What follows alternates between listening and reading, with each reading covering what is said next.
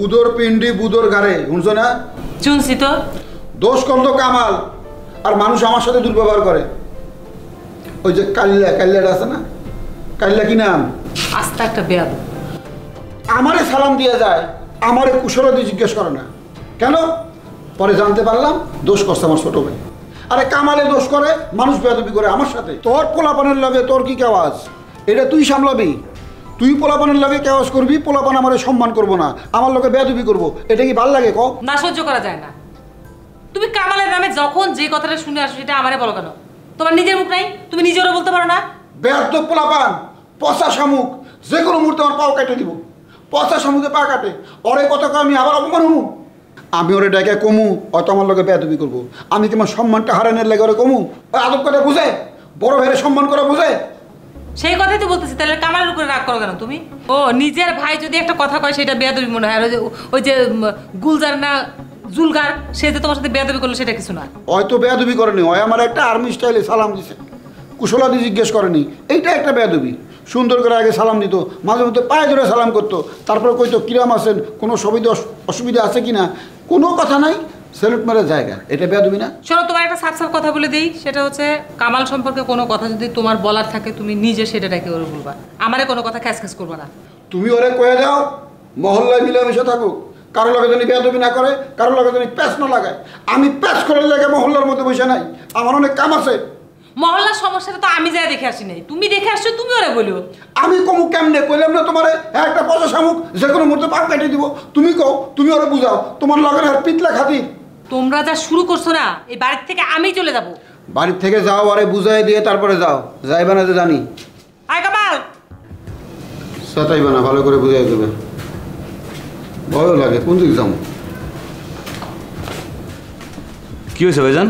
আচ্ছা শোনো যে গুলজার একটা সারা আছে না কালা কুচকুচে গায়ের রং এইটা আমার লাগে বেয়াদবি করছে। মানে? বেয়াদবি বলতে এইটা যে ছেলেটা আমার পায়ে ধরে সালাম করতো সালামের পরে কুশলাদি জিজ্ঞেস করতো হে আমার খালি আর্মি স্টাইল একটা সালাম দিয়ে গেছে গা আর কোনো কথা কয়নি। জিজ্ঞাসা কী ব্যাপার কী হয়েছে তোমার কথাগুলো তোমার লগে নাকি গন্ডগোল? ওর সাথে আমার কিসের প্যাস ওরা তো আমি মানুষই মনে করি না। এই যে তার মানে গন্ডগোল হয়েছে বাবার একটা অনুরোধ করি সবাই কি মানুষ? মহল্লায় থাকো মিলামিশা থাকো কোনো কেওয়াজ করে কি লাভ কও? ভালো মানুষ কই পেবে? সবার মধ্যে কোনো না কোনো দোষ আছে কও? হোক মানুষ। ওর লগে মিলামিশা চলো এক মহল্লায় থাকুম বাজাবাজি করে লাভ আছে। ওকে তোমার লোকে বেয়াদবি করছে? ওই যে স্যালুট টেংরি আমি ভেঙে দেবো একদম। এই যে আমার প্যাস লাগাই ভাই যে দেখো আবার টেঙ্গি ভাঙবো।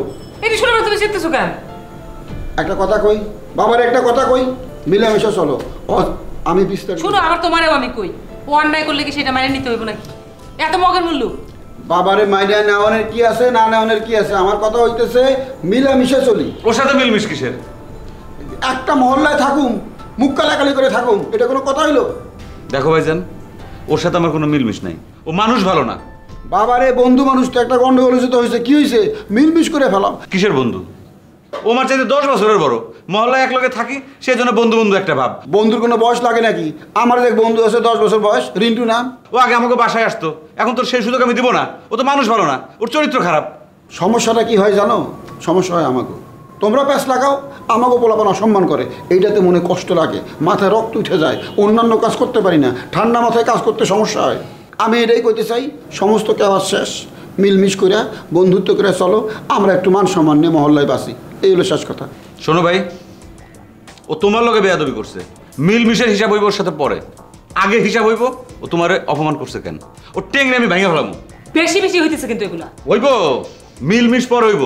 আগে হিসাব হইব ভাইজানটা কিসের জন্য অপমান করছে? এটা কোন ধরনের কথা? কোন ধরনের কথা? সেটা আগে দেখি ওর সাথে দেখাও তারপর আমি হিসাব নেব।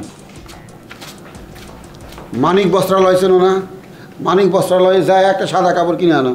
ওই যখন টেঙ্গি ভেঙে দিব ওই তখন আমার মাথা তিটা মেরে আমারে মারবো। তুমি হবে বিধবা আগেই কাপড় কিনে এনে রাখো। কথা বলা তোমার নেশা।